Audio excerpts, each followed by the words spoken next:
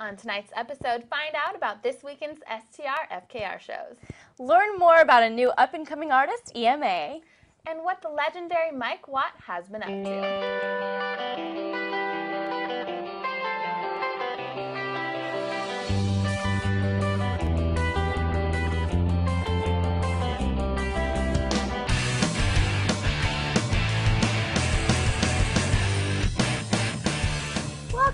Music Fusion Fridays right here on KBVR. I'm Maya Holmes. And I'm Brittany Wooten. And we're the Blonde Bombshells. Here to give you your weekly music news.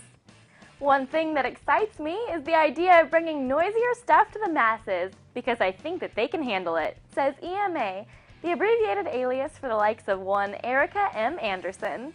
The young rocker is heavy in the process of promoting her forthcoming album, Past Life of Martyred Saints, and recently stopped by the Bunk Bar to show Orion what she's all about. According to Ezra Ace Caraeff of the Portland Mercury, before Anderson claimed Portland as her newly adopted home, she started out as a South Dakota girl, where she joined a pair of early high school bands, one called Man Hater. Eventually, at the request of her parents, she left her hometown in search of something bigger, and she found it in Los Angeles. After playing her music around for a while, she eventually became part of the city's well documented DIY scene at The Smell. Later, she performed with Amps for Christ, the project of Henry Barnes from Man is the Bastard, which crossed her path with that of Ezra Buchla, former frontman for the Mae Shi. Together, the pair started Gowns, a visionary experimental outfit which released one LP in 2007 entitled Red State before splitting up last year. Now on her own, EMA is rocking like never before. Past Life of Martyred Saints is filled with delicate intimacy as well as sheer and utter, utter vocal destruction, and is as memorable as it is haunting, so pay attention. STRFKR recently released their long awaited second album, Reptilians, which came out in March on polyvinyl. And rather than simply play one show to celebrate the release, they will play back to back to back nights at three different Portland venues. This return home will wrap up more than a month on the road, their most expansive tour yet. According to Chris Young of Oregon Music News, as of last week, the band sold out 19 gigs, and now they're well into the 20s as they've already sold out all three Portland gigs. Although, if you're lucky, you might be able to snag a ticket at the door as these venues often hold on to a handful. Last night, the party began at Holocene as the first of the three nights of STR FKR. Tonight, the Doug Fir Lounge opens their doors at 8 p.m. and Blouse opens the show at 9. And finally, Saturday night, STR FKR will perform at Mississippi Studios with Champagne Champagne and Arohan. Show begins at 9 p.m. and is available to all ages. The good thing about the previous venues is they will certainly satisfy STR FKR's desire to play smaller, sweatier gigs. They are back on tour once again as they pack their bags and jump across the pond to play a string of dates in Western Europe in May before Mexico City and San Fran's Outside Lands Festival. Over the past few years, the subgenre of electronic music known as dubstep migrated from its origins in the UK and has turned a commercial corner in North America. From the likes of Britney Spears to hip hop icon Eve, and even to the metal band Korn, everyone seems to be getting into dubstep. Despite the majority of the US's slow to catch on love of the genre, Portland has been grooving to it now for a while. One of the most popular dubstep events in the city is the Crown Room's weekly party, See You Next Tuesday, which has been around for almost two years. DJs and artists from Portland and around the world have come to play at their bass and beat heavy sounds. One of the most fascinating artists of the UK scene, Ramadan Man, performed there this Tuesday. According to Robert Ham of The Oregonian, the performer, whose real name is David Kennedy, is a DJ producer who has released a slew of 12 inch singles over the past three years under a variety of names, some being Pearson Sound and Shetland. In his music, Kennedy has stripped back many of the recognizable qualities of dubstep and brought back the lighter vintage drum machine sound that drove early techno and house music. Now, he's talking about making his music in new directions and may possibly be transitioning away from the name Ramadan Man and only recording and touring as Pearson Sound. Either way, Kennedy said his new work will have a loopier, frothier feel to the point that it might not even be called dubstep anymore. If you missed him at the Crown Room, be sure to catch some of David Kennedy's new music at the clubs and on pop radio. under whichever name he decides to go with. Everyone had high hopes for the Brasserie Montmartre when it reopened in November of 2009. It was elegant again, but the bandstand was still in the same old place, removed from most of the people there and separated by a vast open space that overlooked the little used bar on the lower level. According to Oregon Music News, they tried to make it a listening room and had many memorable nights of music, jazz, blues, and soul. Problem was, it never really worked. They closed a few months ago and the business was sold. They plan to give it another try this May with a new setup for just about everything. The music will no longer be at the old bandstand, but rather in front of the place. The other difference is that although they'll hire good people, they're not looking to make it a music venue. The space is not big enough for a drum kit, and they're not planning to feature vocalists so look for duos and solo piano. But at least a couple of musicians will be able to be seen there. Hopefully this pans out well for the Brasserie Montmartre. The Oregon Zoo's summer show season kicks off on June 23rd this year with Taj Mahal and Joan Osborne performing first, so mark your calendars. According to Ned Lannamann of Portland Mercury, the Cave Singers have an unusual take on American folk music. Their rewarding third album, No Witch, possesses the broadest sound of any of their recordings thus far, ranging from humble folk to muddy, amped up destructions of jumping electric blues. When First Cave Singer's demo appeared in 2007, its eerie placidity was something of a shock, coming not long after the dissolution of Seattle dance punk band Pretty Girls Make Graves. That band's bassist Derek Fudesco picked up a guitar for the first time and began writing and playing songs with Pete Quirk, his housemate. Their first demo was a tranquil, haunted take on backwoods folk, and the first Cave Singers album, Invitation Songs, came shortly after. The Cave Singers have been working in Seattle on new weird stuff to bring out into the world, but album No Witch still retains that homespun charm, and the scale of the Cave Singers' music remains intimate and communal. The Cave Singers are currently on tour in Europe right now, but be sure to keep up with them at thecavesingers.com. Sadly, the punk world lost one of its great pioneers this week as X-Ray Spex iconic leader Poly Styrene, also known as Marianne Joan Elliott said, succumbed to breast cancer at only 53 years of age. She died just one month after the release of her latest solo album, Generation Indigo. As reported by Spinner to Oregon Music News, the British-born feminist singer was a voice of the first-generation London punk scene and also the face of a band that consistently broke away from the norm. X-Ray Spex album entitled Germ-Free Adolescents is considered to be a landmark work and a primary influence on groups such as Britpop and Riot Grrrl. Poly always strived to playfully reject the status quo and avoid conformity and complacency at any cost. She will be greatly missed as a presence in the punk world music and also in this world. Don't go anywhere. We'll be right back. Welcome to Locals Live on KBVR channel 26 or KBVRTV.com. We have a pretty interesting show tonight.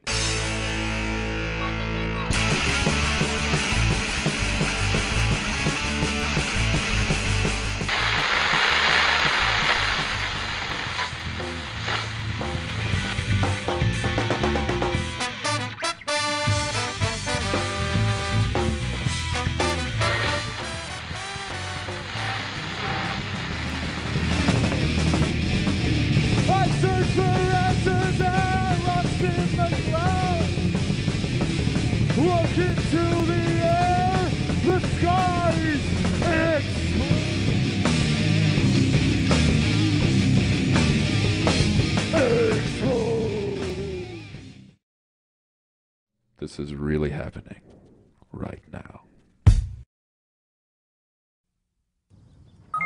G Morning Sunshine. Wakey, wakey. Text me. Are your parents home later? We can hang. LUV, love you.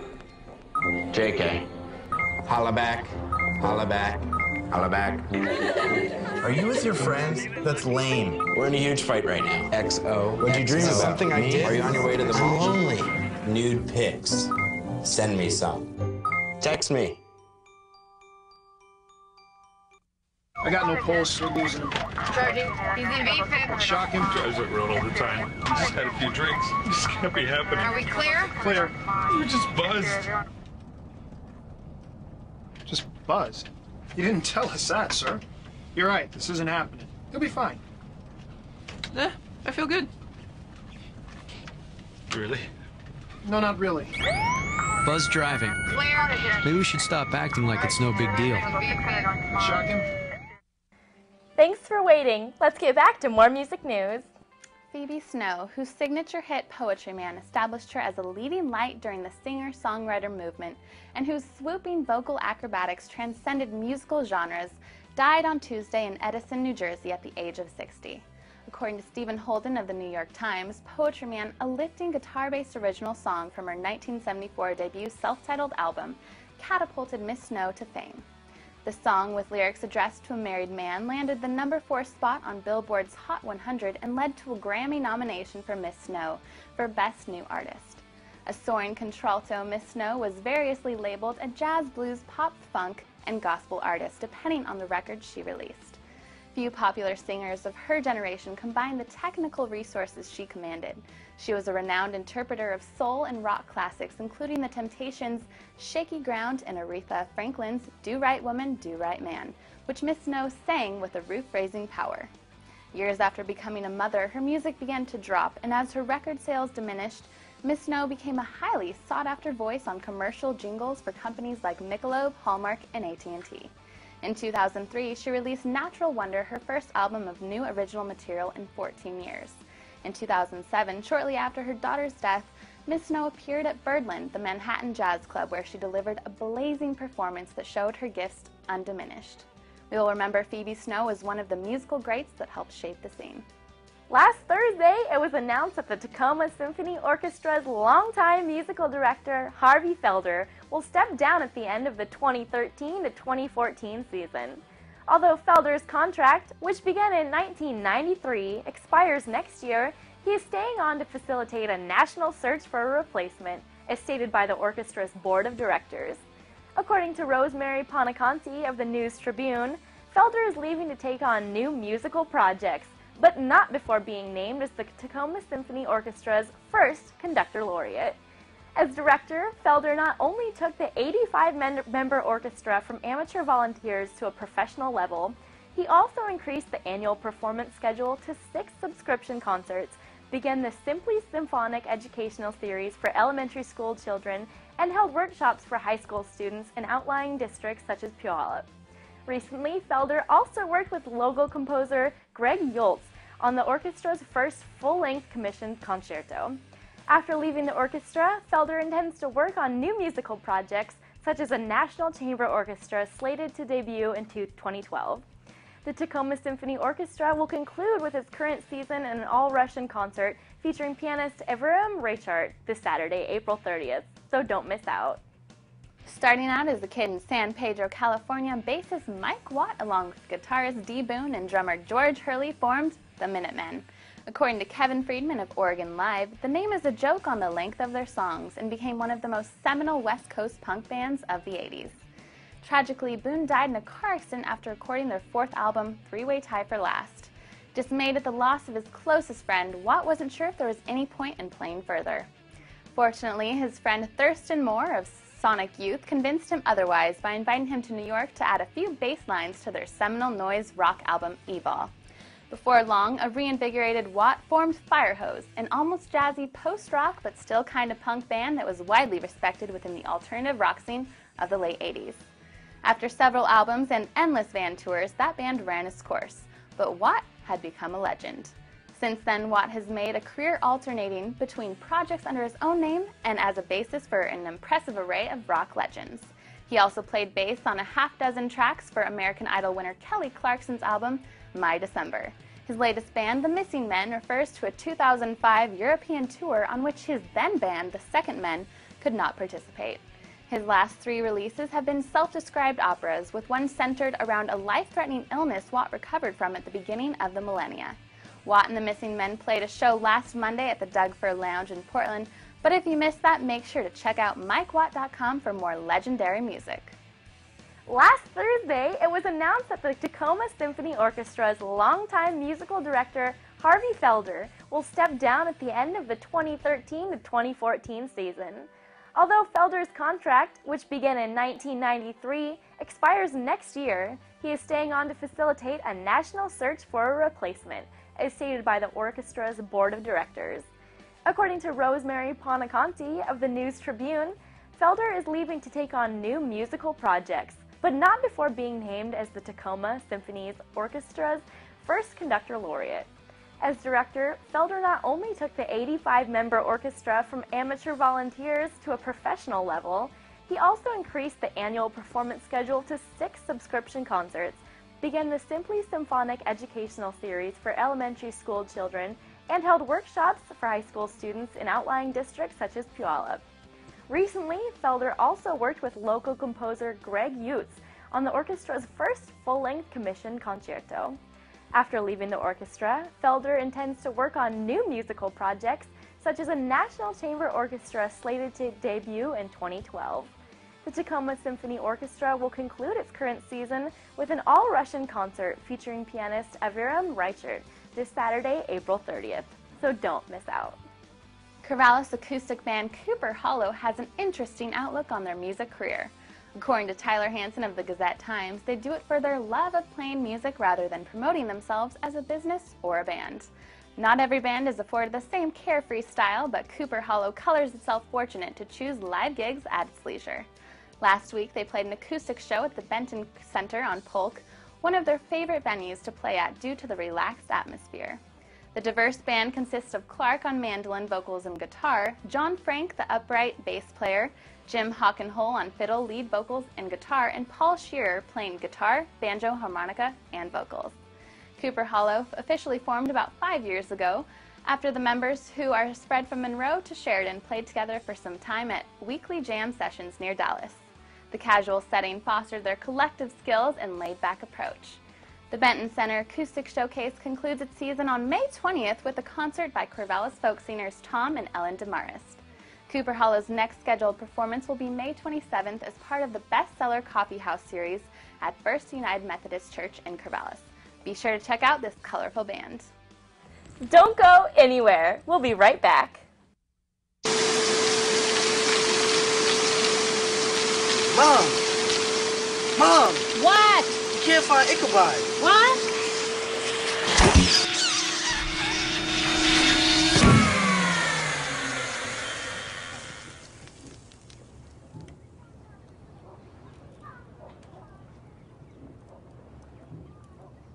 You don't have to be perfect to be a perfect parent. There are thousands of teens in foster care who would love to put up with you.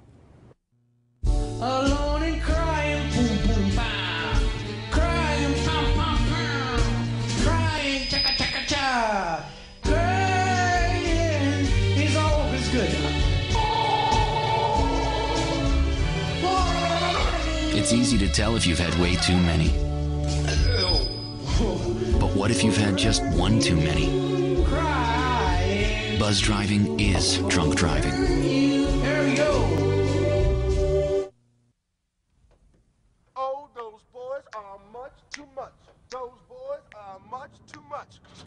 We got the spirit. We're hot. We can't be stopped. We got the spirit. We're hot. We can't be stopped. We're going to beat them and bust them.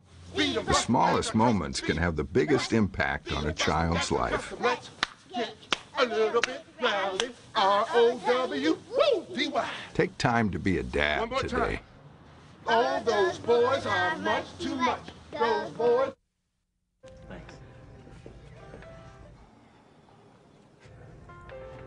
You believe this guy? Are you trying to start a wildfire?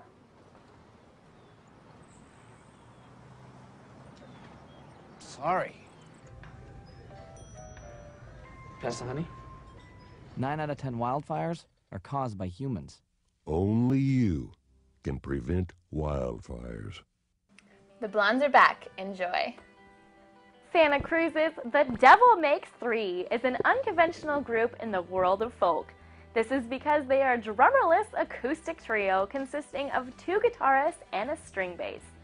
Their following consists of everyone from hipsters to punk rockers and even fans of old-timey jug bands and bluegrass.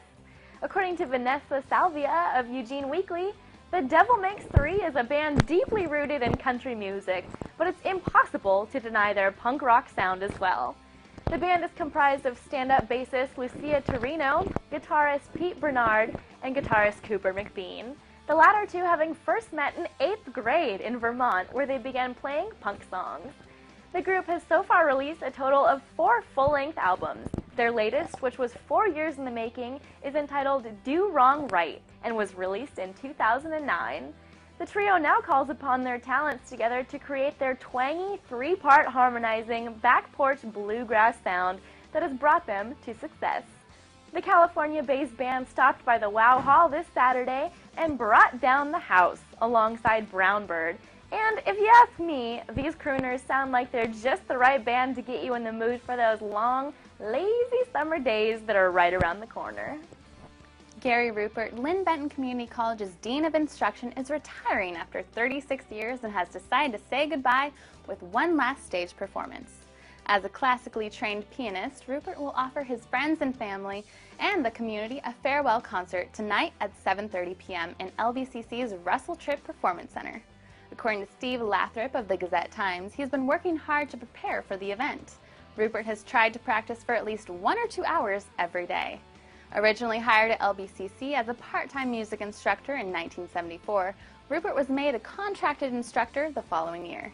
Since then, he has been instrumental in the growth of their liberal arts program. At LBCC, Rupert taught music and speech communication, was involved with musical theater, and has been Dean of Instruction since 1998. He also earned the LBCC Distinguished Staff Award in 2009. While Rupert is no stranger to performing at LBCC, this concert will be his first time on stage in nearly four years.